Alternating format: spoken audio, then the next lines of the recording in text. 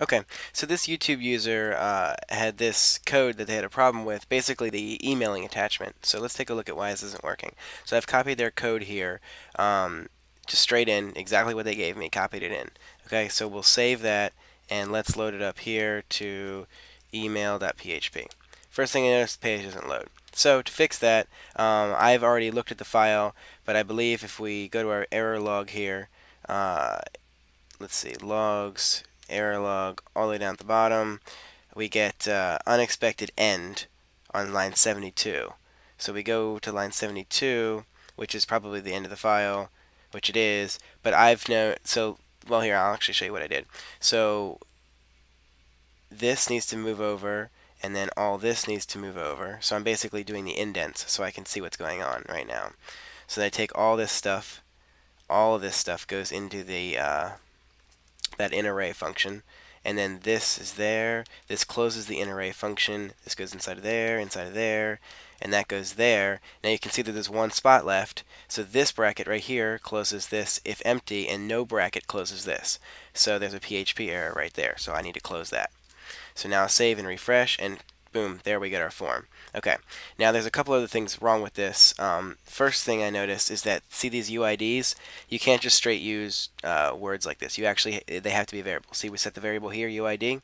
So these are need to be dollar sign UID, dollar sign UID, and dollar sign UID. Okay, so there's those.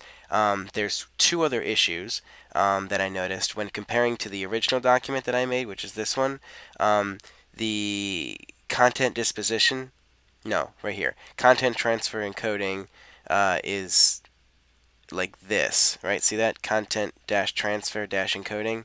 Uh, in this file, we have content dash transfer underscore encoding, which is it needs to be a dash, and then this txt for context right here. If we go back to mine, it's actually uh, type text slash. Okay, so it actually needs to be slash text. Um, so slash text right there. And that means that, yes, yeah, so that dash is correct. So dash encoding and this txt needed to be written out text. And so that, cool. So let's save that and see if it works. So uh, your, so let's refresh this. Your email, I'm going to do um, Sean at squarebracket.com and I'm going to send a, um, a picture through, send, and if all goes well, then I should be getting a email in a second. No? Okay, so we still have a problem in the file.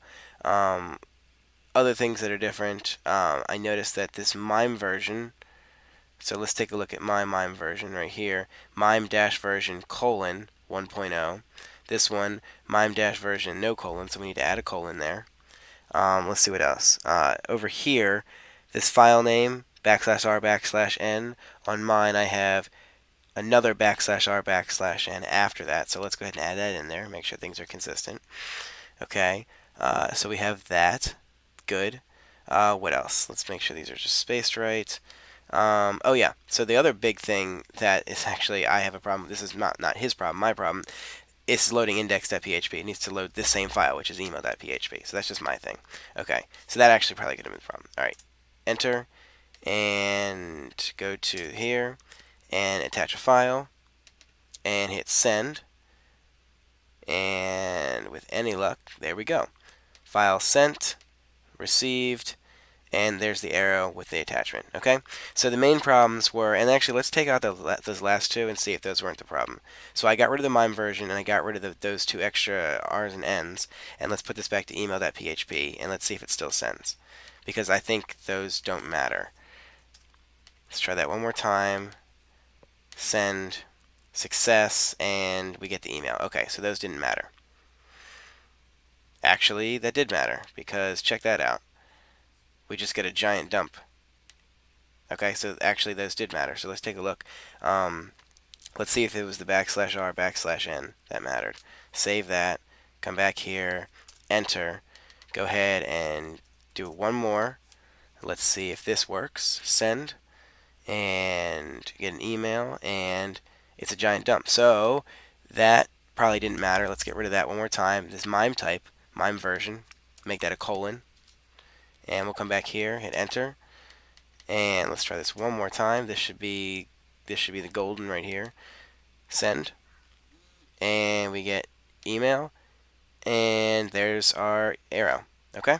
So that was the problem, and could not open because the object is empty.